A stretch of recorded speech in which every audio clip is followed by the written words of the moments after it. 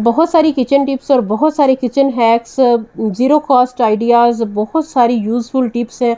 आज की वीडियो में वीडियो स्किप किए बिना मुकम्मल वॉच कीजिएगा। वीडियो स्टार्ट करते हैं। अस्सलाम वालेकुम यूट्यूब फैमिली कैसे हैं आप सब लोग? आटे वाली बाल्टी या आटे वाली मट्टी या आटे वाली जो भी आप इसको, इस बर्तन को बोलते हैं ना, जब आपका आटा ख़त्म होता है तो आपने बहुत अच्छे तरीके से इसे वॉश करना है। वॉश करने के बाद इसे धूप में ड्राई कर लें ताकि ये बिल्कुल भी गीला ना हो। ये बाल्टी आटे वाली जब आटा ख़त्म हो जाता है तो मैं बहुत अच्छी तरह मंथली से साफ़ करती हूँ, फिर इसे बहुत अच्छी तरह ड्राई करके उसके बाद मैं नया आटा डालती हूँ ताकि सुसरी ना लगे, कीड़ा ना लगे। जितना ज़्यादा आप इसकी सफ़ाई करेंगे ना तो कीड़े से बचे रहेंगे। मेरा कभी भी कीड़ा नहीं लगा। क्यों नहीं लगता वो मैं आज आपको बताती हूँ।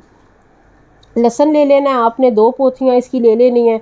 ये नया लहसन आया तो ये है, इसमें कहीं मिट्टी होती है तो वो मिट्टी साफ़ करके आप अच्छी तरह इसके ये जो इसके जो बाल हैं, इसकी जो ये है ना हेयर्स हैं, वाली साइड है, वो आप इससे अच्छी तरह काट लें। उसके बाद आपने दो ले लेनी है पोथियाँ लहसन की। तो उसके बाद आपने इसे क्या करना है, मैं आपको बताती हूँ। बिल्कुल भी सुसरी नहीं लगेगी, कीड़ा नहीं लगेगा, लंबे अरसे तक आपका आटा चलेगा। सावन भादों या इस तरह का जो मौसम है ना, जब मस्ट सुसरी लग जाती है, चावलों में आटे में तो भी आप ये ट्राई कर सकती हैं।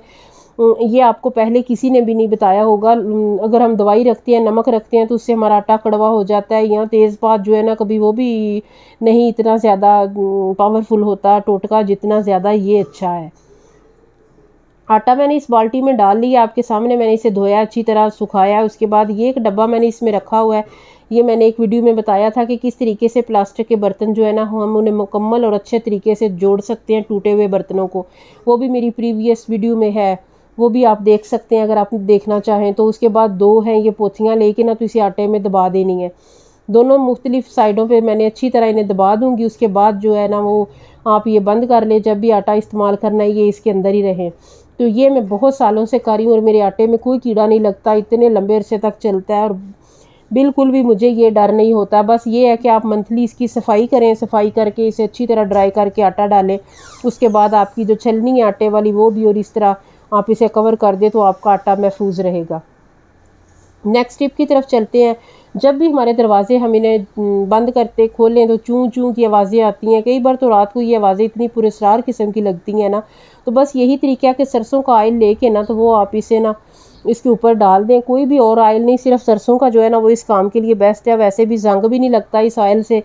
तो ये मैंने टपका के इसके ऊपर और इसे आपके पास अगर कोई पुराना ब्रश है तो वो उससे आप इस पर अच्छी तरह लगा लें। लेकिन उंगली जो है ना, वो भी फिंगर के तरह फिंगर के साथ भी बहुत अच्छे से जो आयल है ना, वो लगता है। इस तरह बाकी सारे कब्ज़ों पे भी, आगे, पीछे, दोनों तरफ़ पे, सारे कब्ज़ों पे आप अगर एक माह में एक बार सब पे लगा देते हैं ना तो आपके जो दरवाजे हैं, वो बंद भी जल्दी हो जाएँगे, खुलेंगे भी जल्दी और आवाज़ भी कोई नहीं आएगी। बहुत अच्छी और कमाल की टिप है और सिर्फ़ सरसों का आयल ही बेस्ट है इसके लिए। कोई एक भी अगर आपको मेरी टिप अच्छी लग रही है तो प्लीज़ मेरी वीडियो को लाइक करें। चैनल पे नए हैं तो चैनल को सब्सक्राइब करें। और कमेंट सेक्शन में अपनी राय देना बिल्कुल नहीं भूलना। बच्चों की सालगिरह हो तो उसमें मुख्तलिफ़ जो आइडियाज़ हैं ना, वो आपको मिल जाएँगे। इस तरीके से आप जो है ना, अपना गिफ्ट जो है ना, वो पैक कर सकते हैं। बच्चे देख के खुश भी हो जाते हैं। तो इस तरीके से जो है ना, ये आप इससे आइडिया ले सकते हैं। छोटी छोटी चीज़ें इस तरह की पैकिंग करेंगे तो बच्चे बहुत ज़्यादा खुश होते हैं और देख के वो बहुत ये जोमेट्री बॉक्स है और देखे कि इस तरह ये एक कानों वाला भालू उसकी शक्ल दी गई है जो कि बच्चे बहुत ज़्यादा खुश होते हैं। तो मैंने सोचा ये भी आपको एक आइडिया देती हूँ। तो आपके माइंड में होगा जब कभी गिफ्ट पैक करनी हो तो आसानी होगी। ये एक पेंट है, नई ही ली थी तो बहुत ही जल्दी जो है ना ये ख़राब होगी कई जगह से ये फट गई है यूज़ ये हुई नहीं है।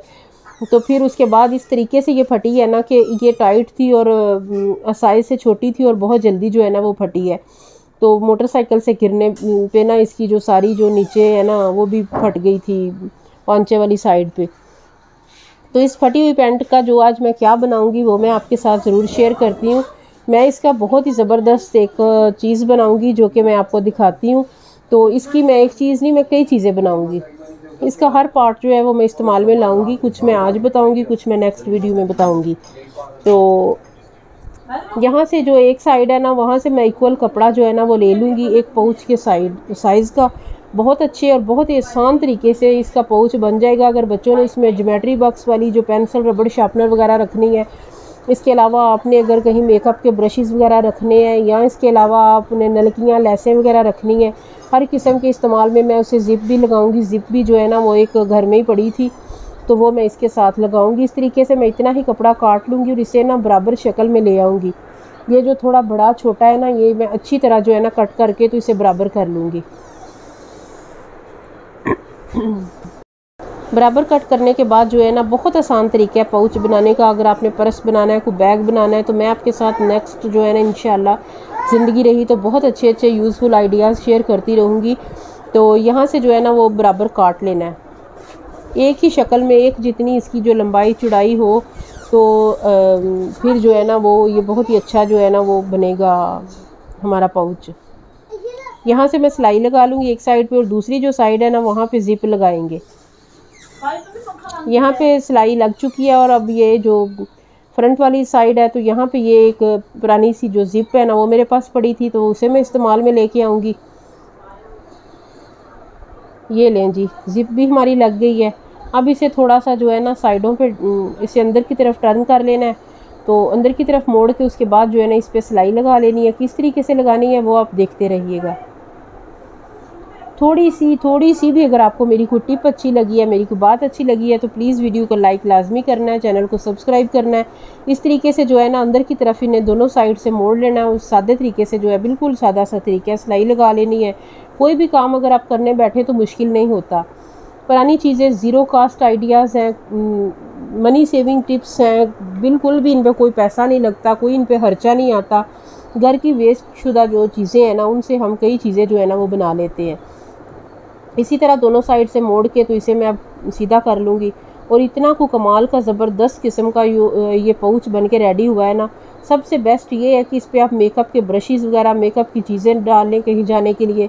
इसके अलावा आप जो है ना, वो बच्चे जो इसमें पॉइंटर अपनी पेंसिल मार्कर्स वगैरह सब कुछ इसमें डाल सकते हैं। आप नलकियाँ, लेसें, जो भी चीज़ आप इसमें डालना चाहें ना तो वो आप इसमें डाल सकते हैं। मैंने इस पर कोई फूल, कोई वैसे कढ़ाई वगैरह नहीं की है। तो ये सादा सा बिल्कुल बनाया है तो कैसा लगा आपको? आपने ज़रूर जो है ना कमेंट में मुझे बताना है कि आप मेरी वीडियो को कहाँ से वॉच कर रहे हैं ताकि मैं आपका नाम लेके आपका शुक्रिया अदा कर सकूँ। और इसके बाद जो है ना आपने ये भी बताना है कि मेरा कौन सा आइडिया कौन सी टिप आपको अच्छी लगी है। कोई भी इस पर जो लागत, बिल्कुल हमारी एक रुपये की भी नहीं आई है, हमारी ज़िप भी घर पे थी और जो हमारी फटी पुरानी पेंट थी, वो भी जो है ना, वो इससे यूज़ में आ गई है। इसके अलावा उसका मैं एक और बैग भी बनाऊँगी जो कि इन ज़िंदगी रही तो नेक्स्ट वीडियो में मैं आपके साथ शेयर करूँगी। नेक्स्ट आइडिया की तरफ़ चलते हैं। ये एक मग था, चाय वाला, जो कि टूट चुका है। इसका हैंडल टूट गया। जब ये टूट जाए तो जितना भी कीमती कप हो, वो आपके किसी काम का नहीं रहता। तो इसे मैं एक बेहतरीन इस्तेमाल में लेके आऊँगी और ये मेरी जो एक, मेरे पास लैस है, जो कि पुरानी पड़ी है, किसी सूट से उतरी थी। तो जब ऐसे जब सूट हमारे ख़राब हो जाते हैं ड्रेसेस तो उन पर जो इस तरह की बड़ी बड़ी लैसें होती हैं ना, मैं उन्हें उतार के रख लेती हूँ और इसी तरह किसी ना किसी जगह पे वो यूज़ हो जाती हैं। थोड़ा थोड़ा मैं ऊपर से कट कर लूँगी, क्योंकि मैंने इसे ना इसकी सिलाई से नहीं, इसे उधेड़ा था, मैंने वैसे ही इसे कैंची से कट किया है। और कट करने के बाद जो है ना, जितनी इसके साइज़ की पूरी है ना, वो मैं इस पर लगा लूँगी। ग्लू गन की मदद से लगाएँगे तो सबसे अच्छा जो है ना, अच्छे तरीके से वो इस पर लगेगी। जहाँ से हैंडल टूटा था ना, वहाँ पे ग्लू गन लगा के तो इसे बहुत ही अच्छे तरीके से आप जोड़ सकती हैं। ग्लू गन जो है ना, वो हमारी जो चीज़ें आइडियाज़ हैक्स बनाने के ऑर्गेनाइज़र बनाने के बहुत ज़्यादा काम आती है। एल्फ़ी या कोई भी ग्लू की जो है ना, वो इतनी कारामद नहीं होती है जितनी ग्लू गन से जो है ना, हम अच्छे तरीके से चीज़ों को बना सकते हैं, जोड़ सकते हैं, उन्हें महफूज कर सकते हैं। अच्छे तरीके से जो है ना, इस पर लगा लें। यहीं पे लगाना है जहाँ पे हमारा हैंडल टूटा था, इसके किनारे जो है ना, वो भी इसके अंदर छुप जाएँगे।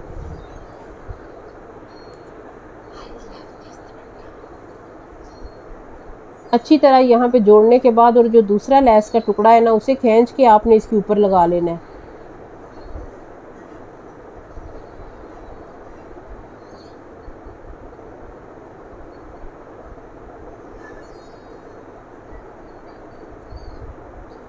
बहुत ही अच्छे तरीके और सफ़ाई के साथ जो है ना, आपने इसके साथ एडजस्ट करना है। फालतू लैस जो है वो मैंने काट दी है। अब ग्लू गन यहाँ पे लगा के तो उसके ऊपर जो है ना वो अच्छे तरीके से लेस चिपका देनी है। और ये जो टूटा फूटा सा हमारा कप है, ये इतना कुछ ज़बरदस्त और कमाल का हो जाएगा कि आप इसे मल्टीपर्पज़ के लिए यूज़ कर सकते हैं। ये आप ड्रेसिंग पे भी रख सकते हैं, इसमें आप मुख्तलिफ़ मेकअप की चीज़ें ब्रशेज़ वगैरह अपने टूथपेस्ट ब्रशेज़ वो रख सकते हैं। इसके अलावा आप अपनी जो है मुख्तलिफ़ ट्यूब्स जार्स जो हैं वो रख सकते हैं। आप चम्मच स्टैंड इसे बना सकते हैं। इसके अलावा जो भी आप इससे किसी भी इस्तेमाल में लाना चाहें ना तो आप हर किस्म के इस्तेमाल में ला सकते हैं। आप खुद बताइए कि जो एक सादा सा कप था और अब सिर्फ़ एक लेस इसके ऊपर अटैच करने से ये कितना खूबसूरत और प्यारा लग रहा है।